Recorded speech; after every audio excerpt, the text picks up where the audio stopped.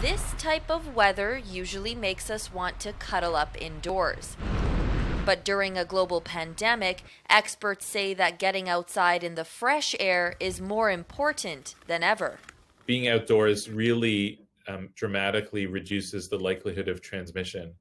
And it isn't just outdoors, but it's outdoors with fresh air.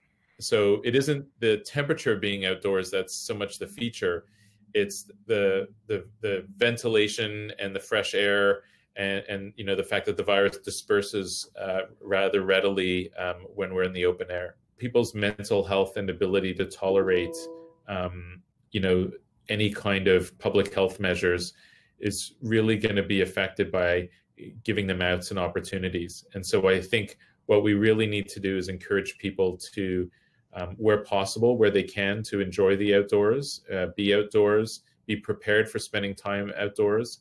But what can we do outdoors safely? I think that for many of the activities that people can do outdoors, they don't need to be masked. Skating, skiing, snowshoeing, walking, you know, jogging if you can, uh, bike riding, depending on you know what kind of bike you have. All those things I would consider safe. You know, if you're talking about team things, you know, I would think things like ultimate frisbee um, as an example, perhaps with some modifications. But, but I, I think a lot of outdoor activities, including in groups, can be done what we really need to do is just minimize that kind of exposure. Outdoor team sports are not so much the issue, it's the congregating before and after that can get tricky.